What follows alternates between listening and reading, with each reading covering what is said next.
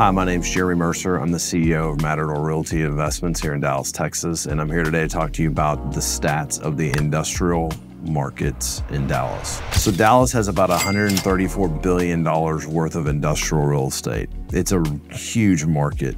It has 70 million square feet added in 2023, and half of the volume came from spaces that are 500,000 square feet and above. So it's a lot of distribution, bulk distribution, in that it's geographically located where you can deliver to both sides of the United States and up north quickly. 500,000 square feet is currently 15% of the availability in the market for spaces 500,000 and above.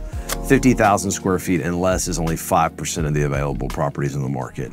The market rent growth has been 9% year over year, and it was that's coming down off a high of 12.6 in the mid 2022. Inventory on so there's a total of 24,485 buildings in Dallas Fort Worth that makes up 1.2 billion square feet.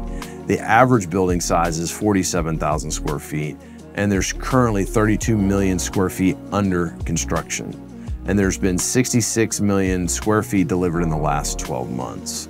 In Dallas, the average market asking rate is $9.57. The current vacancy in the Dallas market is 9.4%. You have 110 million square feet of vacant industrial.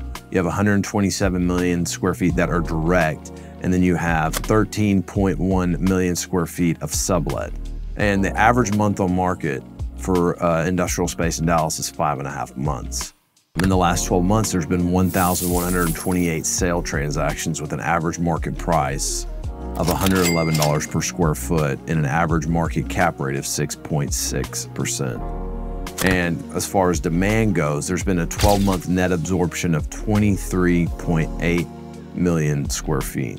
So as you can see, the Dallas Fort Worth market is a great place to be. Dallas, Texas is a great place to be for real estate. And I'm very thankful that that's our home base and uh, we will continue to expand our footprint here. So for more information on us, please follow me at JB MatCap on Twitter and Instagram. And please reach out if you got any questions.